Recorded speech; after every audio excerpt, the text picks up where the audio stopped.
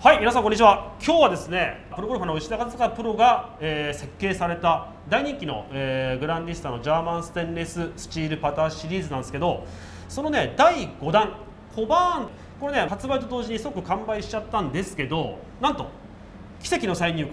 はい、ごくわずかだけ入荷しました。入荷したということで、まずはこのはい。コバーンなんですが改めてどんなパターンでしたっけ？いわゆる L 字型のマレットタイプですね、うんうんどうしても難しいかなと思われる方、うん結構いらっしゃると思うんですけども、いわゆるそのネオマレット的な感じのこう重心深度が深くてまっすぐまっすぐ動きますよっていうパターンとはもう当然違うわけなんですよ、ただそういう重心深度が深いパターンっていうのは例えばアイアンとか他のクラブと比べてもう構造が圧倒的に違いますよね、うんうん。なので他のクラブとの流れだったりっていうのが合わないっていう場合もあるんですよ。あー。一本だけあまりにも違いすぎるなるほどなるほど。でそれを割り切ってパターンだけ違うっていうふうに考える場合もあるんですけども、うんうん。人によってはその全体の流れがつながった方が、えーストロークがしやすいとか、うんうんパッティングしやすいって方もいらっしゃるんですね、うんうんなので、まあ、構造としてもほぼアイアンと一緒ですよそうですね、はい、ウェッジ からの流れをそのままにストロークしやすい、うんうんそういう観点で言うと優しいってなるんですね、なるほどなるほど。この L 字のワレットがどうしてもフィットするっていう方絶対いらっしゃるので、うん。そういう方向けに、えー作ったっていう感じですね。なるほど。確かに L 字マレットってアイアンの名手とかそうですね。アプローチの名手みたいな選手が好む印象がありますよね。そうですね、はい、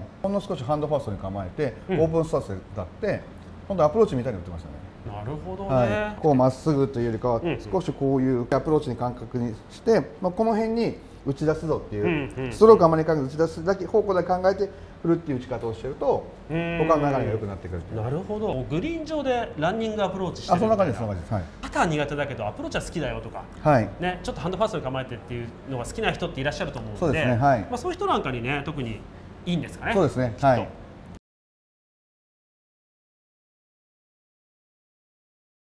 使ってる素材まず、うん。ジャーマンステンシール。うんうん最高の打感、はい。暖音がうん。味わえる、と設計の特徴としてはクラシックな形状をあまり変えずに、はいはい。皆様馴染んでる L 字マレットの形を作ってるので、うんうん。形の特徴としてはあえて出してないっていう感じですね。なるほどね、はい。うん。まあ、すんなりパッと構えやすいっていう形をしてる、うん。うんあいいですね。いい顔してますね。構えの特徴としてはちょっとハンドファーストに構えてもっとハンドファーストですこれぐらいあこんぐらいいっちゃっていいですか？はあなるほど。ここがもうまっすぐになるぐらいなんですね。あいいですねこれ、はい。僕はね割とそうこれさっきのこういう感じですよね。そうですそういう感じです。はい。でフォローも打って終わりぐらいですね打って終わりぐらい、はい。やっぱこのねこういうストロークよりはこうタップ型っていうんですかね。そうですねパチンっていう方が合いやすいんですね。そうですね、はい、ウェッジでフェースを開いてこうふわっと上げるのが得意な人もいれば、うんうん。右に置いて転がすのが得意な人もいるし、うんうんうん。右に置いて転がすのが得意なような人はこういうタイプの方が合うと思いますね。なるほど、はい。ちょっと実際に打たせてもらってもはいい、いですか、どうぞご覧ください。やっぱなんせこの打感がね魅力ですからね。あいいですね。いいいいですね。めちゃくちゃ気持ちいいですね。感じですね今の。す。ごいインパクト感が出た結果、はいこのジャーマンステンレススチールの打感をめちゃくちゃ楽しめる。そうですね。アイアンショットでバシャッとシンクった時みたいな感覚は少しあそうです。そんな感じ。近い感じるような打感ですね、はい。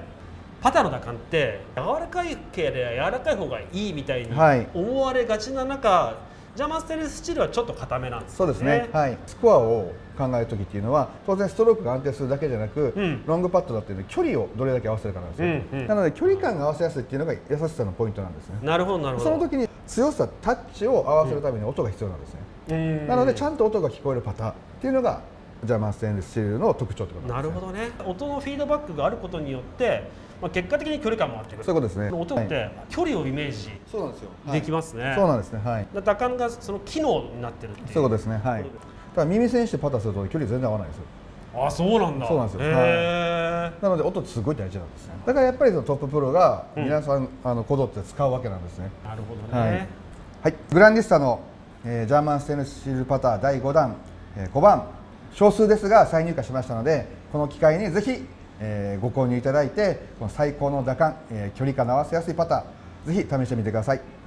これこれはちなみにもうこれが最後手に入る機会としては、最後ですはい。最後です。はい。なのでぜひ、えーチェックしてみてください。どうもプロ今日はありがとうございました。ありがとうございました